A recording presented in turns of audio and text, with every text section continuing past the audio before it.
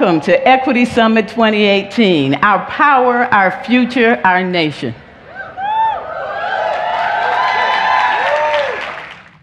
The fierce urgency of now requires that each of us be able to say yes to this notion of our worthiness.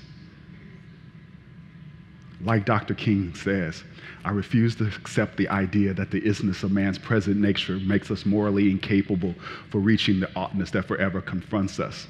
When Angela talks about that radical imagination, that is the oughtness. And I know if we join arms and lock them together, we're going to create a society where all can participate, prosper, and reach their full potential. So I'm looking forward to working with you. I want you to know that I love you. Thank you. Good morning. My name is Orbert Davis. I'm the co founder, artistic director of Chicago Jazz Philharmonic. Uh, let's talk about friends for a second. I'm a friend, and you're a friend. We have friends who are very near to us, very dear to us. We have friends who are far away, but they'll always be our friend.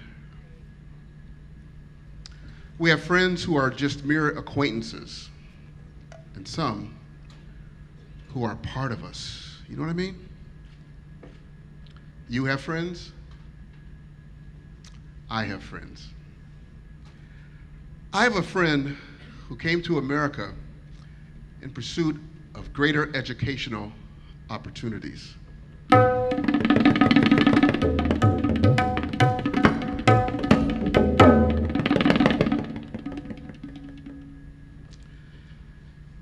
And I have a friend who was the first in his family to travel many miles to America in search of employment opportunities.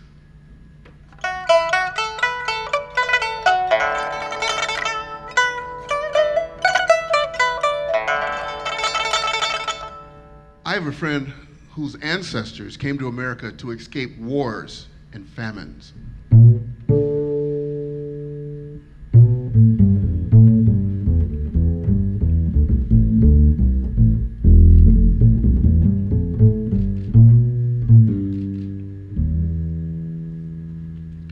I have a friend whose great grandparents came to America to escape a severe Holocaust.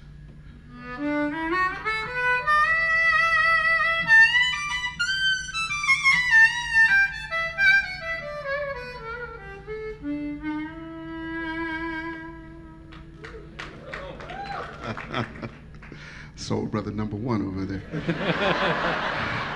That is important. And the skin that the Latino community has in the game is that we have to demonstrate every single day that we're American and that we sacrifice with people who have fought for this country, died for this country, and right now are becoming the fastest folks that are going into the prison industry. And if we do not stand up as a collective country to demand our vision and our values, we have to pack up. And so when I see people march in the streets, marching is a lot much harder than voting because you are putting your body in the face of people of this is what I represent. But that marching does not translate if we don't go to the voting booths. That's right. And so it's hard. That's why we get up every single day, because we recognize that the stakes are so high, that the people that are occupying the institutions are the ones that are determining the policy of the institution. So my work and the work of folks here and in this room is to occupy those institutions. Mm-hmm. That's right. And the only way we occupy is through that voting booth. Right. So I can tell you that I'm a little angry. I'm very, very angry, but it's, I always say that I'm pissed with purpose right now. Who else is pissed with purpose? Raise your hand. I'm pissed with purpose. How do we tell the full force and grasp of the story. The fact that undocumented Asians are actually the fastest growing undocumented yes. population in this country. The fact that we rarely talk about undocumented black immigrants. Mm-hmm. And the fact that because of systematic racism, detention and deportation rates are higher. The fact that white people, I don't know where you all came from. and what papers you had when you showed up, right? But the reality is, unless you're Native American, you know, I mean, really though. So right now, I'm really, and I'm sorry, I'm a journalist. So I like facts. In this country, in the next 50 years, there, I don't know if you know this, there are 43 million immigrants in America today. 43 million.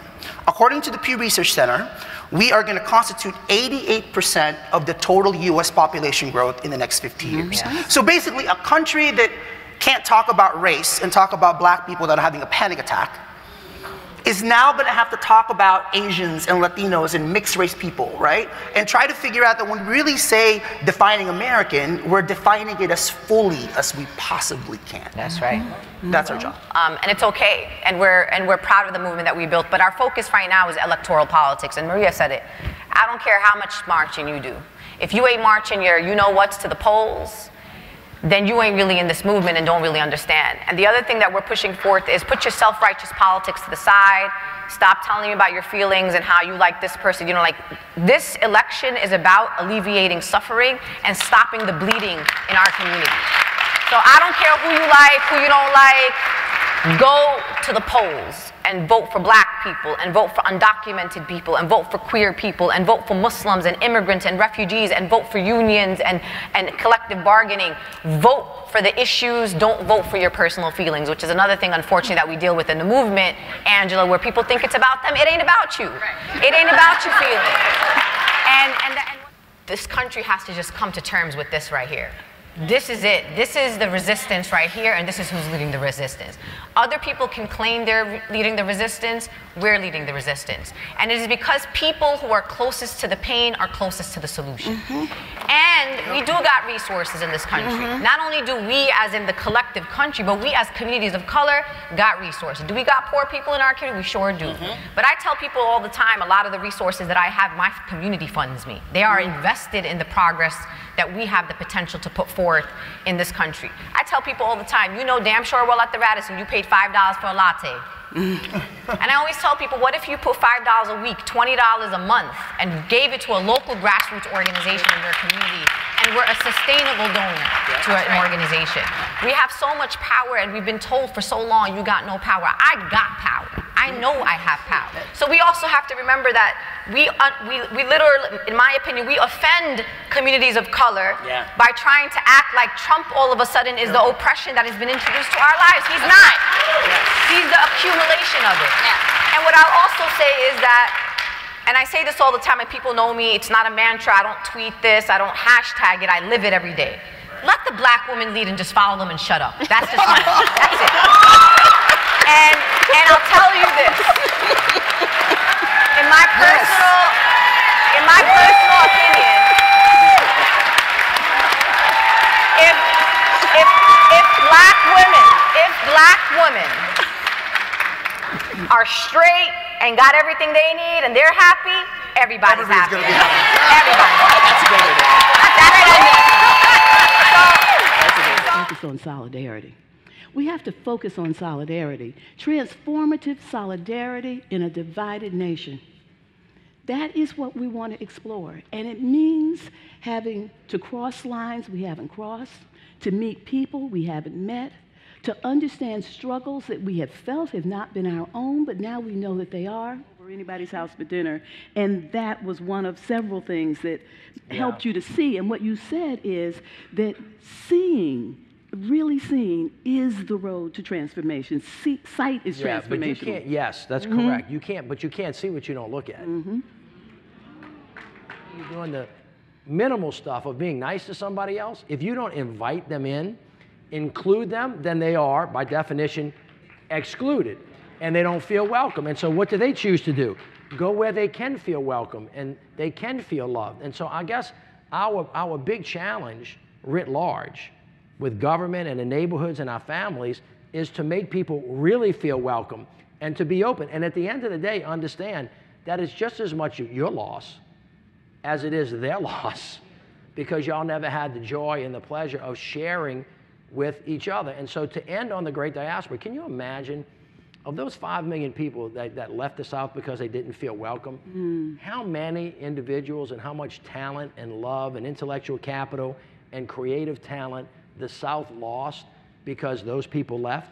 and what, and what the country could be, and how many artists and playwrights and musicians and scientists and astronauts and presidents there are out there that we don't get the benefit of because they don't have access to education or to health care or the pipeline to prison reform is taking them in a direction they don't want to go. And think about the incredible loss and then turn it into, well, just think about the incredible opportunity and the hope that the nation really could have if we could really walk the walk that we've all talked about as we aspire to become that more perfect union. That could get you up out of your seat. That Yeah. could get you excited and that can get you hopeful about what's yet to come in our country. Um, the South African uh, Zulu word is sawubona, as, as talked about by uh, Alvin Herring, who's the new head of PICO. Um, and sawubona means I see you. Not I'm looking at you. Not I'm following you around the store to see what you're going to take. It means I see you. And it- means I see you, I see your ancestors before you, and I see your children and your lineage after you. And the response is, I am here. Uh, so whiteness is a concept. it's a concept that was invented by the elites for domination, for control, for separation. One reason it's- so hard in the, in the country, and one reason that people literally, I mean, there were white people who said they couldn't get out of bed when Obama was elected president uh, because they, their identity is bound up in dominance. When, Frederick, when, when W.B. Du Bois said there's a psychological benefit to whiteness, and we keep missing that. We said we're going to give them more money, we're going to give them health care, we're going to give them housing. Truman, when he was president of the United States, he came this close to passing universal health care. And the South was on board because the South needed health care more than anybody. And then at the 11th hour, they said, President Truman, we have a question to ask you. If we have universal health care, will we have to go to the hospitals with black people? Said, Truman said, yes. They said, we We'll be it." sick. We don't want to go. We'll, we'd rather die. Okay. So I guess what I'm saying is, yes, that, that, um, that it's whiteness. I mean, when we talk about race, people want to talk about black people, Mm-hmm. or maybe brown people. But the hard edge of, and, and I'll end with this, I know we have Okay. to. James Baldwin said, it's no, it's no hope for them as long as they think they're white. So we got to get rid of this whiteness. And I don't mean, you know, I know exactly what you mean. in a loving way.